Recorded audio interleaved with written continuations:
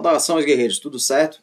Sou o professor Joia, professor de Biologia aqui do Prevup, e no vídeo de hoje eu queria trazer para vocês né, duas moléculas muito importantes né, para o estudo da bioquímica da vida.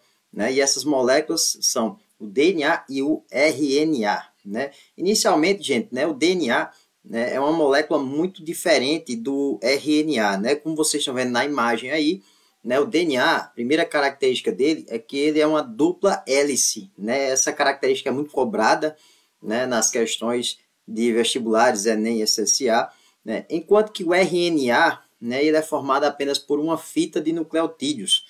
Né? Outra característica né, importante das moléculas é que o açúcar, né, a pentose do RNA, é uma ribose, enquanto que a pentose né, da, do DNA é chamada de desoxirribose. Né? Então é outra diferença que existe entre essas duas moléculas. Né?